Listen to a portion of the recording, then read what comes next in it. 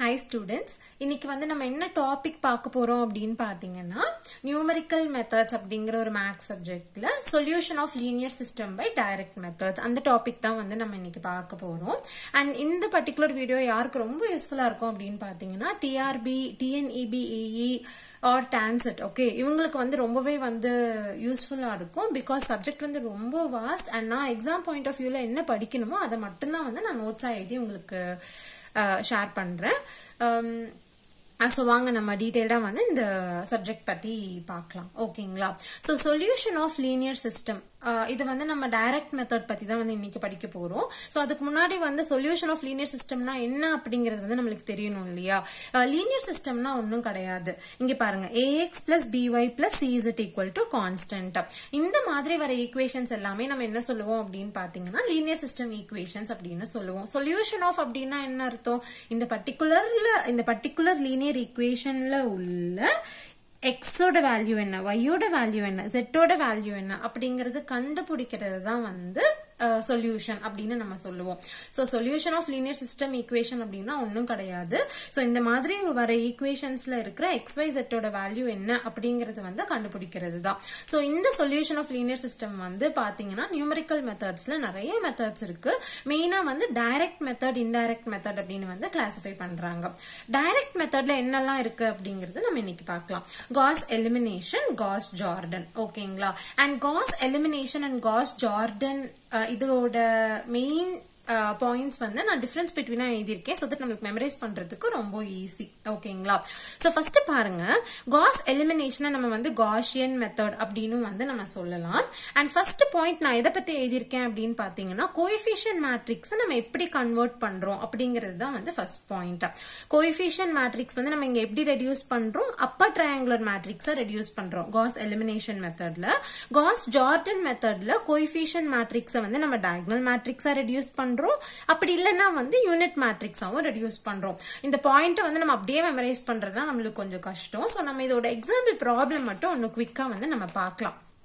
Okay so இப்போ நீங்கள் பார்த்தீங்கன்னா solve two x plus y plus four z equal to twelve eight x minus three y plus two z equal to twenty four x plus eleven y minus z equal to thirty three by Gauss elimination method so இது என்னது? இந்த மாதிரி ஃபார்மேட்டில் a x plus b y plus z equal to கான்ஸ்டன்டா இந்த மாதிரி ஒரு ஃபார்மேட்டில் வர்றது வந்து என்னென்னு நம்ம படித்தோம் லீனியர் சிஸ்டம் ஈக்குவேஷன் படித்தோம் ஸோ இங்கே சால்வ் அப்படின்னு சொல்லியிருக்காங்க. சால்வ்னா என்னது? எக்ஸ் ஒய் ஜெட் கண்டுபிடிக்கும் கண்டுபிடிக்கிறது ஓகேயா சோ இப்போ வந்து காஸ் எலிமினேஷன் மெத்தட்ல நம்ம ஃபர்ஸ்ட் பாயிண்டா நம்ம என்ன படிச்சோம்? கோஎஃபிஷியன் மேட்ரிக்ஸ் வந்து அப்பர் ட்ரையாங்குலர் மேட்ரிக்ஸா கன்வெர்ட் ஆகணும்னு படிச்சோம். சோ ஃபர்ஸ்ட் நம்ம அதை எப்படி பண்றது அப்படிங்கறத வந்து பார்க்கலாம். ஓகேங்களா சோ இங்க பாருங்க. ஃபர்ஸ்ட் இந்த கொடுத்திருக்கிற ஈக்குவேஷன்ஸை எப்படி எழுதணும் அப்படின்னு பாத்தீங்கன்னா ஃபர்ஸ்ட் வந்து இந்த லெஃப்ட் ஹேண்ட் சைடு இருக்கு இல்லையா? எக்ஸ் ஒய் செட்டோட கோஎஃபிஷியன்ஸை வந்து நீங்க ஒரு மேட்ரிக்ஸ் ஃபார்ம்ல எழுதிக்கோங்க. ஓகே சி டூ அதுக்கப்புறம் ஒய்க்கு முன்னாடி என்ன இருக்கு? ஒன் அப்புறம் செட்டுக்கு முன்னாடி என்ன இருக்கு? ஃபோர் அதை நான் இங்கே எழுதிட்டேன்னா ஸோ அதே மாதிரி ஒவ்வொரு ஈக்குவேஷன்ஸ்க்குமே வந்து நீங்க இந்த மேட்ரிக்ஸ் ஃபார்மா கன்வெர்ட் பண்ணிருங்க. அதுக்கப்புறம் எக்ஸ் ஒய் இப்படி எழுதிக்கோங்க. Equal to constants okay twelve twenty thirty three அதை வந்து நான் எழுதியிருக்கேன். ஓகே ஸோ இது வந்து ஃபர்ஸ்ட் ஸ்டெப் அண்ட் நம்ம என்ன படித்தோம் ஃபர்ஸ்ட் பாயிண்டே நம்ம என்ன படித்தோம் கோயிஃபிஷியன் மேட்ரிக்ஸ் அப்பர் ட்ரையாங்குலர் மேட்ரிக்ஸாக கன்வெர்ட் ஆகணும்னு நம்ம படித்தோம் ஃபர்ஸ்ட் கோயிஃபிஷியன் மேட்ரிக்ஸ்னா என்னன்றது நம்மளுக்கு தெரியணும்ல? இதுதான் கோயிஃபிஷியன் மேட்ரிக்ஸ் ஓகேயா ஸோ இதை தான் வந்து நம்ம என்னவா மாத்த போறோம்? ஓகே ஸோ இதை வந்து நம்ம ஒரு அப்பர் ட்ரையாங்குலர் மேட்ரிக்ஸா மாத்த போறோம். அப்பர் ட்ரையாங்குலர் மேட்ரிக்ஸ்னா என்னது? ஓகே இந்த இங்க பாருங்க. மேல ஒரு ட்ரையாங்கிள் ஃபார்ம் ஆயிருக்கா மேட்ரிக்ஸ்ல மேல ஒரு ட்ரையாங்கிள் மாதிரி ஃபார்ம் ஆயிருக்கா? கரெக்டா ஸோ இதுதான் upper triangular matrix okay so first வந்து நம்ம கன்வெர்ட் பண்ணணும். இப்போ நம்ம எக்ஸாம் பாயிண்ட் ஆஃப் வியூல படிக்கிறங்காட்டி இந்த ஸ்டெப்ஸ் எல்லாம் இப்போதைக்கு நம்ம ஸ்கிப் பண்ணிடலாம். ஓகே ஸோ இப்போதைக்கு நீங்க சும்மா மேலோட்டமா ஞாபகம் மட்டும் வச்சுக்கோங்க. கோயிஃபிஷியன் மேட்ரிக்ஸை நம்ம என்னவா மாத்துறோம்? ஓகே கோயிஃபிஷியன் மேட்ரிக்ஸை நம்ம இங்க அப்பர் ட்ரையாங்குலர் மேட்ரிக்ஸா மாத்துறோம். ஒரு செட் ஆஃப் ஸ்டெப்ஸ் பண்ணி மாத்துறோம். அந்த செட் ஆஃப் ஸ்டெப்ஸ் எல்லாம் நம்மளுக்கு எக்ஸாம் பாயிண்ட் ஆஃப் வியூல இப்போதைக்கு நம்மளுக்கு தேவை கிடையாது. இதை மட்டும் நீங்க ஞாபகம் வச்சுக்கோங்க. காட் இட்டா சோ அப்போ இதே இது காஸ் ஜார்டன்ல என்னவா மாறுது அப்படின்னு பாத்தீங்கன்னா சி டயக்னல் மேட்ரிக்ஸா மாறுது. டயக்னல் மேட்ரிக்ஸ்னா என்ன? டயக்னல் மேட்ரிக்ஸ்னா ஒன்றும் கிடையாது. ஓகே ஸோ ஒரு மேட்ரிக்ஸ் இருக்குன்னு வச்சுக்கோங்க. One two three four five six seven eight nine matrix இருக்கு அப்படின்னா இதை வந்து நான் எப்படி மாத்தணும் அப்படின்னு பாத்தீங்கன்னா ஒரு டயக்னல் மேட்ரிக்ஸா மாத்தணும். டயக்னல் மேட்ரிக்ஸ்னா ஃபார் எக்ஸாம்பிள் டயக்னல்ல மட்டும் மட்டும்தான் வேல்யூஸ் இருக்கும். மற்ற இடத்துல எல்லாமே வந்து ஜீரோ அப்படின்னு இருக்கும். ஸோ இப்போ ஃபார் எக்ஸாம்பிள் நான் சொல்றேன் இதுதான் கிவன் மேட்ரிக்ஸ்னு வச்சுக்கோங்க. இந்த கோஎஃபிஷியன் மேட்ரிக்ஸை நம்ம இப்போ எப்படி மாத்தணும்? டயக்னல் மேட்ரிக்ஸா மாத்தணும். டயக்னல் மேட்ரிக்ஸ்னா ஒன்றும் கிடையாது. டயக்னல்ல மட்டும் டூ வேல்யூ இருந்துச்சுன்னா டயக்னல் மேட்ரிக்ஸ் ஸோ நம்ம காஸ் ஜார்டன்ல நம்ம என்ன பண்றோம்? கோஎஃபிஷியன் மேட்ரிக்ஸ் டயக்னல் மேட்ரிக்ஸா சேஞ்ச் பண்றோம். ஓகேயா அண்ட் இன்னொரு பாயிண்ட் நான் கொடுத்துருக்கேன் பாருங்க. ஆர் ஈவன் யூனிட் மேட்ரிக்ஸ் அப்படின்னா என்ன அர்த்தம்? யூனிட் மேட்ரிக்ஸ்னா வந்து நீங்க ஒன்றும் கன்ஃபியூஸ் ஆக வேண்டாம். சி டயக்னல்ல இப்படி இருக்கும். ஓகே டயக்னல் எலிமெண்ட்ஸ்ல வந்து எப்படி இருக்கும்? வெறும் ஒன் மட்டும் இருக்கும். ஓகேயா ஸோ அதுதான் வந்து யூனிட் மேட்ரிக்ஸ் ஓகேயா ஸோ யூனிட் மேட்ரிக்ஸ் நம்ம டயக்னல் மேட்ரிக்ஸ்னு கூட நம்ம சொல்லலாம். ஓகே ஸோ இப்போ வந்து உங்களுக்கு ஒரு ஒரு கிளாரிட்டி வந்துருச்சு இல்ல ஸோ நம்ம என்ன பண்றோம்? காஸ் எலிமினேஷன்ல கொய்ஃபிஷியன் மேட்ரிக்ஸ் அப்பர் ட்ரையாங்குலர் மேட்ரிக்ஸா மாத்துறோம். காஸ் ஜார்டன்ல கோயிஃபிஷியன்ட் டயக்னல் மேட்ரிக்ஸா மாத்துறோம். அப்படி இல்லைன்னா நம்ம யூனிட் மேட்ரிக்ஸா கூட மாத்தலாம். ஓகே ஸோ இப்போ ஃபார் எக்ஸாம்பிள் வந்து in which of the direct methods coefficient matrix is getting reduced to diagonal matrix அப்படின்னு கொஸ்டின் கேட்டாங்கன்னா நீங்க காஸ் ஜார்டன் அப்படின்னு வந்து நீங்க சூஸ் பண்ணணும். ஓகேயா ஸோ ஃபர்ஸ்ட் பாயிண்ட் இப்போ நம்ம படிச்சிட்டோம். செகண்ட் பாயிண்ட் போகலாம் செகண்ட் பாயிண்ட் பாருங்க. காஸ் எலிமினேஷன்ல வந்து பேக் சப்ஸ்டியூஷன் மெத்தட் வந்து யூஸ் பண்றோம் அப்படின்னு நான் போட்டிருக்கேன். அண்ட் காஸ் ஜார்டன் மெத்தட்ல back substitution is not used அப்படின்னு நான் போட்டிருக்கேன். ஓகேயா ஸோ அப்படின்னா என்னன்றது தெரிஞ்சாதான் நம்மளுக்கு கொஞ்சம் மெமரைஸ் பண்றதுக்கு ஈஸியா இருக்கும். ஸோ நான் சால்வ் பண்ணி வச்ச சம்ம வந்து நான் காட்டுறேன். ஓகே ஸோ நம்ம இப்போ ஆல்ரெடி நம்ம என்ன பண்ணிட்டோம்? காஸ் எலிமினேஷன்ல ஒரு ஸ்டெப்ஸ் ஃபாலோ பண்ணி coefficient matrix upper triangular matrix மேட்ரிக்ஸா convert பண்ணிட்டோம் ஓகேயா இப்போ நம்ம அடுத்த பாயிண்ட் என்ன படிச்சோம்? பேக் சப்ஸ்டியூஷன் மெத்தட்னு படிச்சோம். பேக் சப்ஸ்டியூஷன் மெத்தட்னா ஒன்றும் கிடையாது. பேக்ல இருந்து நம்ம ஒரு ஒரு இது சால்வ் பண்ணுவோம். இங்க பாருங்களேன். மைனஸ் த்ரீ இருக்கு. மைனஸ் த்ரீ எந்த பொசிஷன்ல இருக்கு? இது ஜெட் பொசிஷன் இது ஒய் பொசிஷன் இது எக்ஸ் பொசிஷன் கரெக்டா ஸோ அப்போ minus three Z equal to minus three இங்க நான் எழுதியிருக்கேன் பாருங்க. Okay minus three Z equal to minus three so நான் பேக்ல இருந்து எழுதிட்டு போறேன். Minus three Z equal to minus three இதை எப்படி எழுதலாம்? Minus one into Y minus Y minus two into Z minus two Z equal to இந்த constant minus four புரியுதா? அதே மாதிரி இதையும் நம்ம எழுதணும். Two X plus Y plus four Z equal to twelve நான் இங்கே எழுதியிருக்கேன் பாருங்க. அப்போ ஃபர்ஸ்ட் ஈக்குவேஷன்ல இருந்து நம்மளுக்கு ஜெட் கிடைக்கும். இந்த ஜெட்டை எடுத்துட்டு போயிட்டு இந்த ஈக்குவேஷன்ல போட்டோம்னா ஒய் கிடைக்கும். இந்த ஒய்யும் ஜெட்டையும் எடுத்துட்டு போயிட்டு இந்த ஈக்குவேஷன்ல போட்டோம்னா வி வில் கெட் எக்ஸ் புரிஞ்சிருச்சா? நம்ம எக்ஸ் ஒய் ஜெட் கண்டுபிடிச்சிட்டோம். எப்படி நம்ம கண்டுபிடிச்சோம்? பேக் சப்ஸ்டியூஷன் மெத்தட் வச்சு நம்ம கண்டுபிடிச்சோம்.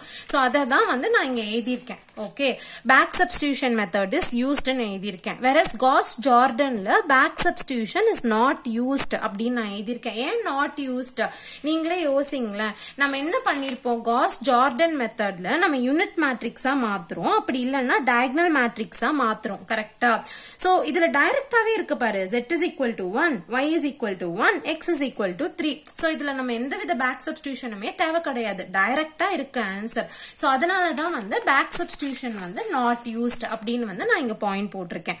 அண்ட் தேர்ட் பாயிண்ட் பாருங்க. மோஸ்ட் எஃபிஷியன்ட்னு எழுதியிருக்கேன். அண்ட் இதுல வந்து it involves more computation okay இது வந்து நாட் எஃபிஷியன்ட் ஏன் நாட் எஃபிஷியன்ட்னு பாத்தீங்கன்னா நீங்க யோசிங்க நீங்க டயக்னல் எலிமெண்ட் கொண்டு வரதுக்கு சி இதை ஜீரோ பண்ணணும் இங்கே இங்கே இங்கே இங்க இங்கே எல்லாத்தையுமே ஜீரோ பண்ணணும். சோ அதுக்கு வந்து நிறைய கால்குலேஷன்ஸ் தேவை ஓகே வேறஸ் வந்து அப்பர் ட்ரையாங்குலர் மேட்ரிக்ஸ்க்கு அப்படி கிடையாது ஓகே இத மட்டும் நீங்க ஜீரோ பண்ணா போதும். இங்கே வந்து உங்களுக்கு என்ன வந்துரும்? அப்பர் ட்ரையாங்குலர் எலிமெண்ட் வந்துரும்.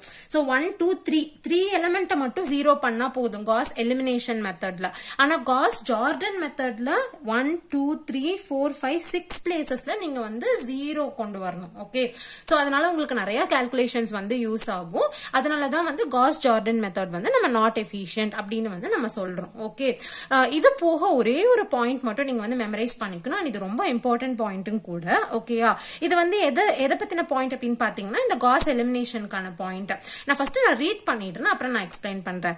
Gaussian method fails if elements in the top of first column is zero in this case we can interchange the rows so as to get the pivot element in the top of the first column. என்ன அப்படின்னா ஒன்றும் கிடையாது. Okay இந்த cos elimination method இருக்கு இல்லையா இது வந்து fail ஆயிடுமா? எப்ப ஃபெயில் ஆயிடும்? இந்த ஃபர்ஸ்ட் எலிமெண்ட் இருக்குல்ல இது ஜீரோவா இருந்துச்சுன்னா ஃபெயில் ஆயிடும் அப்படின்னு சொல்றாங்க. ஐயோ அப்ப ஜீரோவா இருந்துச்சு அப்படின்னா நம்ம என்ன பண்ணணும் அப்படின்னு பாத்தீங்கன்னா ஒன்னும் கிடையாது. ஆல்ரெடி இங்க நான் ஜீரோ எலிமெண்ட் இருக்கு இல்லையா ஃபர்ஸ்ட் ரோவை இது அப்படியே இன்டர்சேஞ்ச் பண்ணிக்கோங்க. அவ்வளவுதான். ஓகே இந்த ஃபோர் ஃபைவ் சிக்ஸ் இங்க வந்துரும். இந்த ஜீரோ டூ த்ரீ இங்க செகண்ட் ரோல வந்துரும். ஓகே சோ அப்படி வந்துருச்சுன்னா என்ன ஆகும் ஃபர்ஸ்ட் எலிமெண்ட் வந்து ஃபோர் ஆயிடும் which is like non zero element ஓகேயா ஸோ இதுதான் வந்து இவங்க இதில் சொல்லியிருக்காங்க. அண்ட் பிவோட் எலமெண்ட்டுங்கிறது சொல்றது வந்து பிவோட் எலிமெண்ட்னா um, uh, என்ன வந்து டெஃபினேஷன் அப்படின்னு பாத்தீங்கன்னா மேட்ரிக்ஸ் வந்து எந்த எலமெண்ட்டை வந்து ஃபர்ஸ்ட் சூஸ் பண்ணுது. மேட்ரிக்ஸ் அல்காரிதம் வந்து எந்த எலிமெண்ட்டை ஃபர்ஸ்ட் சூஸ் பண்ணுதோ அதுதான் வந்து பிவோட் எலிமெண்ட்னு வந்து நம்ம சொல்லுவோம். அண்ட் காஷன்ல வந்து பிவோட் எலமெண்ட் வந்து நார்மலாவே வந்து ஃபர்ஸ்ட் ரோ ஃபர்ஸ்ட் காலம்ல உள்ள எலமெண்ட் தான் வந்து பிவோட் எலமெண்ட் அப்படின்னு நம்ம சொல்லுவோம். ஓகேங்களா ஸோ uh, uh, நான் என்ன சொல்றேன் அப்படின்னா எக்ஸாமுக்கு முன்னாடி நீங்க இப்ப நான் இங்கே எழுதியிருக்கேன் பாருங்க. இந்த நோட்ஸை மட்டும் மட்டும் நீங்க வந்து ரிவைஸ் பண்ணிட்டு போனீங்கனாலே போதும். ஷியாரா வந்து நம்ம ஒன் மார்க் வந்து கண்டிப்பா அடிக்கலாங்க. ஓகே அண்ட் உங்களுக்கு இந்த வீடியோ வந்து யூஸ்ஃபுல்லா இருந்துச்சு அப்படின்னா please like comment subscribe and also உங்க ஃப்ரெண்ட்ஸ்க்கு வந்து ஷேர் பண்ணுங்க. ஸோ இப்பதான் வந்து நான் ஸ்டார்ட் பண்ணியிருக்கேன் நான் படிச்சது எல்லாத்தையுமே வந்து வீடியோவை அப்லோட் பண்றதுக்கு. ஸோ கீப் வாட்சிங் அண்ட் பெனிஃபிட் எடுத்துக்கோங்க. அண்ட் என்னோட வீடியோவில் வந்து நான் ஃபுல்லாகவே வந்து ஃப்ரீயாக தான் பண்ண போகிறேன் as a service so keep supporting me thank you for வாட்சிங் பாய் பாய்